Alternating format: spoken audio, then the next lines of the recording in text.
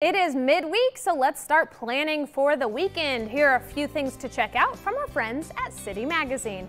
First up, join Franklin County Parks and Recreation and Harvester Performance Center as they present concerts by canoe at Twin Ridge Recreation Area on Philpott Lake this Friday at 5 p.m. For the first time, Music and Water will join forces to present the Five Mile Mountain Band on a floating stage and to a floating audience. Bring your canoe, kayak, tube, or float to paddle your way to a front row seat for this one-of-a-kind event. For more information, visit playfranklincounty.com. Next up, happening Saturday on the bank of the James River in downtown Buchanan is Reggae by the River. It's a great evening of music, food, and fun. Reggae enthusiasts will know the band's playing, and it's a family-friendly event with a kids zone featuring tie-dyeing station and more. Visit townofbuchanan.com for more information.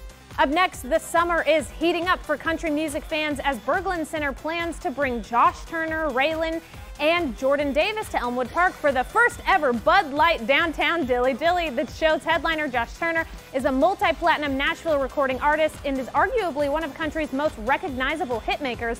Tickets will be available in advance for $37 and $42 at the gate. For more information or to get tickets, visit theberglundcenter.com. And finally, happening tonight, you can catch internationally acclaimed Grammy nominated singer Freddie McGregor at the spot on Kirk. McGregor has been a pioneer in reggae music since its inception and continues to be a living pillar of the scene. For more information, visit thespotonkirk.com.